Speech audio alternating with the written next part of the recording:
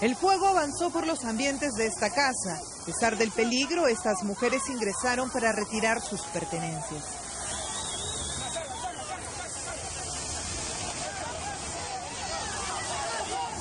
La explosión de un balón de gas causó este incendio.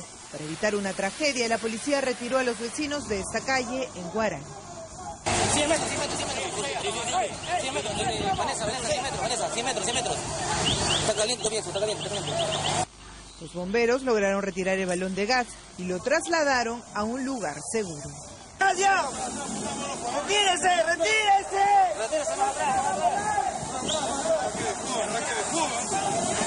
La casa era habitada por tres familias, todos inquilinos, que perdieron sus artefactos y ropa.